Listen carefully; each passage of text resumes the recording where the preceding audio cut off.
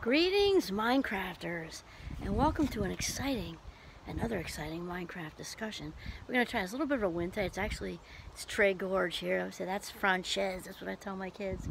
And um, that's King Lear making a ton of noise back there because he wants out. You would think they've never eaten before in their lives. Anyway, um, so we'll try this with the wind, and if not, we'll just give it a go manana. You know, it's not a huge big deal. Um, but this is, uh, I'm sorry, my name is Dr. Kimberly Quinn, and I am here to help people be a chan or be a channel for people learning to become the boss of their brains because thoughts come first and feelings come second and then actions or behavior. So by practicing thought control it goes like this only two choices. Either we control our thoughts or our thoughts control us. Like you know there's only so which is more pleasant you know what I mean? Obviously controlling our thoughts. So that said, this also helps that like the underlying theme there is, is I help channel people see their own value, I think, which is kind of my mission, you know, anti-shame campaign, all that good stuff. So today's uh, um, talk is on just don't give a shit, you know, and it's, I gotta give a shout out to Sarah Knight, who wrote um, the book about the magical, oh shoot, I don't have it in front of me, of not giving an, S, an F-U-C-K. Anyway, Sarah Knight of not giving, da, da, da, da, of not giving an F-U-C-K. I'm just changing it to shit because it's a little easier on the ears. No offense to Sarah, I think her book's hysterical and also very good.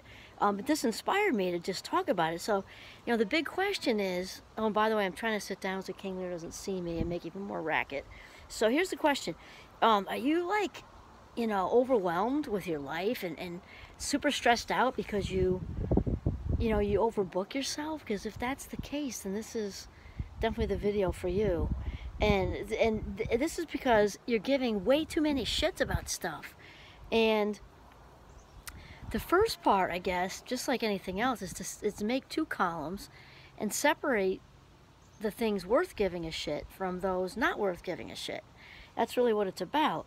And what we're talking about with the shits we're giving, right, is our our time, our energy, and, or uh, cash money, right? So really when it boils down to it, what we are talking about is our very, very most valuable commodity, which is our life minutes.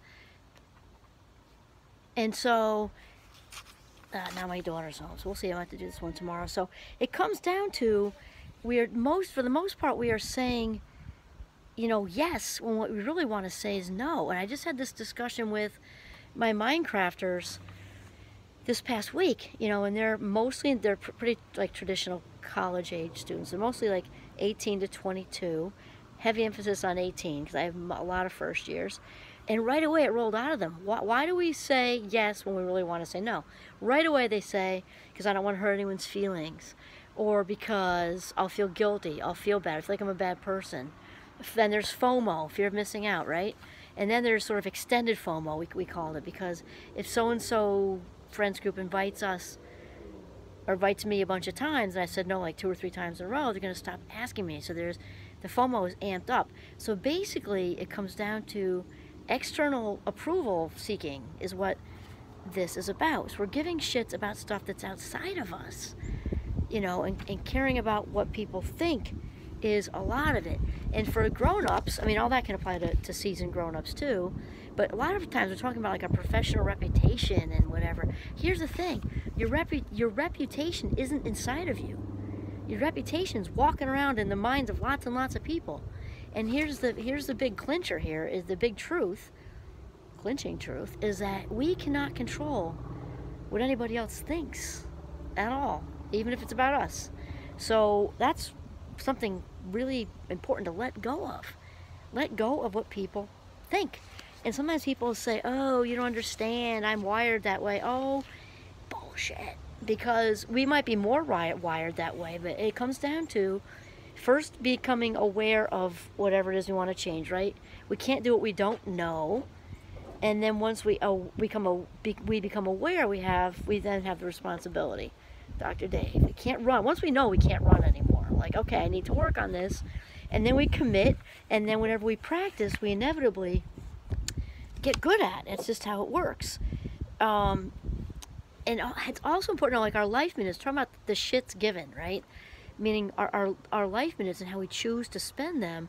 There are only so many life minutes, life seconds, if you really want to break down, in any one day to spend on people. I mean, that's just, you know, how it is. And so we have to really sort of learn to be, to, to spend them like they're cash. And so Sarah Knight, in her, in her very cool book, talks about establishing, well, she says an FUCK budget. We're going to say a, a give a shit budget. Like, what is our give a shit budget? Just like you would do an Excel sheet for, you know, your mortgage or rent, your car payment, cable, internet, you know, food, puppy food, you know, looking at Giovanni over there made me think of it, miscellaneous.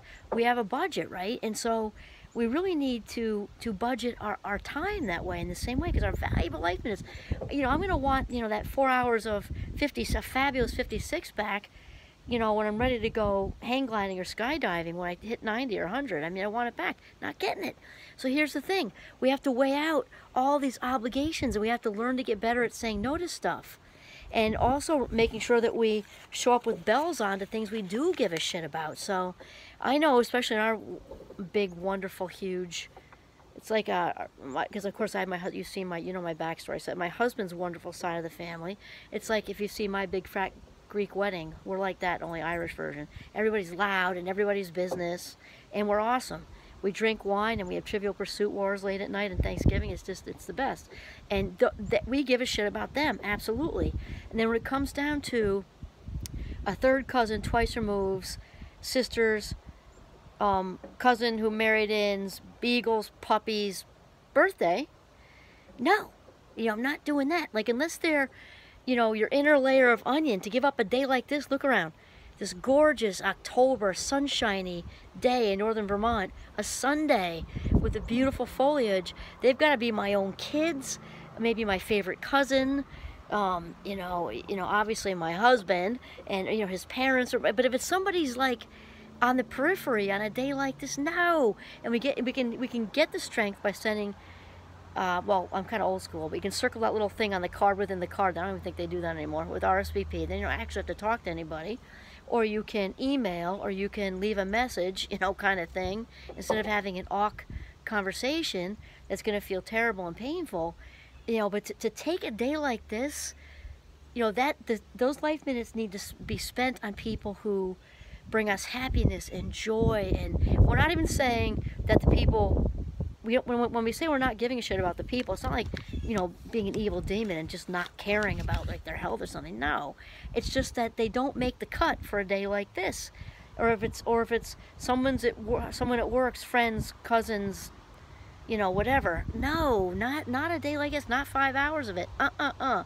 Because it's just it's too valuable. And think of it like if you would spend you know twenty dollars. I'm from the Housewives last night. We have a daughter binge watches that that you know like I would spend maybe 20 bucks maybe 40 maybe 50 bucks on them if they were great. Sunglasses because I know eventually I'm to lose them she had sunglasses that were like five digits and some kind of purse I forget the name of what it was $95,000 in my opinion actually makes me want to puke to be honest with you but that's just an enormous amount. So you got to think about like spe spending the life minutes on a day like this and like one of our sons constantly, our youngest son constantly says, when we swap out our life minutes, we're making a choice to give up here with the with the person I'm with, or maybe I'm by myself. I have a great day on this deck by myself, or I'm with one of my kids or my husband or whatever. To make a choice to go do whatever said baby shower, again, if it's like the third cousin twice removed, whatever, whatever, we're sacrifice. It's a huge sacrifice. Let's say if I were sitting in my and my the youngest son was there, one of my other kids or whatever. I just thought him because he's the one who said it. Um, or if it's a time alone, giving up this to go be there, uh-uh-uh. So think of it about like, like a cash purchase. Most people wouldn't spend $95,000 on a purse. Bad purchase, you know, in general. Well, I don't even care if I'm, I'm trying to be judgmental. That's hard. That's, that's a tough one. You could like feed Ghana with that much money, but sorry, can't help it. There go the goats. Caitlin's letting him out. Okay, so you want to you want to just not give a shit, not care what people think. We can't change what they think anyway. And as far as what we say to people, I go by this because we have to care about people's feelings. We're not saying be a jerk. Hear me loudly, okay? And I operate by this. You know, I can only control what I say, not what you hear. So always, like my friend Father Mike would say, You got to say how you feel. Say it with honesty and kindness. Politely decline the invitation with honesty and kindness if it doesn't make the cut. If it just doesn't make the cut. Because our life minutes are about the first string, maybe the second, not the bench. It's just how it is. And so getting better at not giving a shit will have you so much happier because you'll be spending your life, minute, life minutes on the people, the circumstances, and the things, all of it that bring you joy and happiness and the reverse to the people you're with. So that's it. Learn how to not give a shit and spend your life minutes as if they were cash. This is Kimberly Quinn signing off from the gorgeous northern Vermont. Have a mindful day.